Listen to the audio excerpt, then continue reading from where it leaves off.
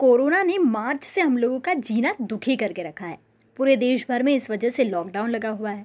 Lockdown तो ठीक है, लेकिन एक दूसरी चीज़ भी है, जिससे शायद लोग अब थक भी चुके हैं। लेकिन अब इतने दिन हो गए हैं कि हमारे दिनचर्या का हिस्सा ही बन गया है।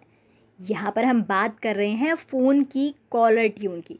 जी हाँ जब से कोरोना का कहर छाया है और लॉकडाउन लगा हुआ है, तब से ही फ़ोन लगाने पर कोविड नाइन्टीन से बचाव संबंधी एक कॉलर ट्यून एक कॉलर ट्यून बजती है। चाहे आप किसी को भी फ़ोन लगाएँ, पहले ये कॉलर ट्यून आपको दो बार सुनाई देगी, उसके बाद आपका कॉल कनेक्ट होता है। शुरू शुरू में जब ये कॉलर ट्यून स्टार्ट हुई थी, आखिरकार गवर्नमेंट ने इसे सबकी कॉलर ट्यून क्यों बना दिया? लेकिन अब सब इसके आदि हो चुके हैं और ये हमारी सुरक्षा के लिहाज से ज़रूरी भी है। कॉलर ट्यून हमें एक मैसेज देती है कोविड नाइन्टीन से बचाव का।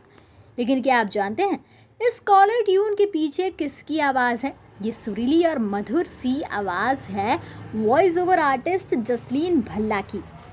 2010 से वॉइस ओवर की दुनिया में काम कर रही जसलीन भल्ला अब तक कई सारे बड़े बड़े प्रोजेक्ट्स पर काम कर चुकी हैं। जसलीन की आवाज़ पहले भी कई सरकारी और गैर सरकारी प्रोजेक्ट में आ चुकी है, जिनमें आंगनबाड़ी, रेलवे और एयरलाइंस शामिल है। लेकिन बात की जाए कोरोना कॉलर ट्यून की तो एक प्रोडक्शन हाउस ने जसलीन को ये ऑफ़र किया। जसलीन को पता नहीं था कि ये एक सोशल मैसेज है और आगे जाकर ये लोगों की कॉलर ट्यून में तब्दील हो जाएगा।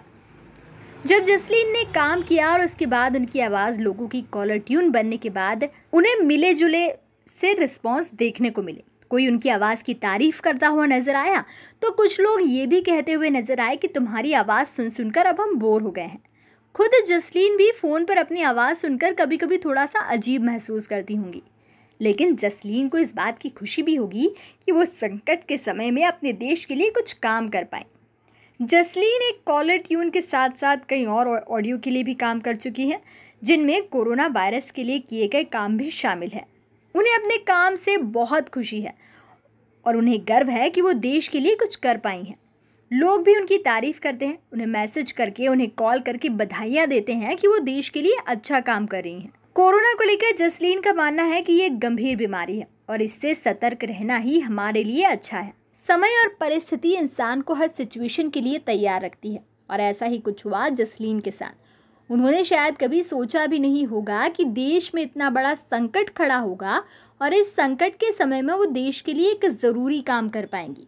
इसलिए कहा जाता है कि इंसान का कर्म पहले ही तय हो जाता है कि उसे क्या करना है, जैसे कि जसलीन ने किया।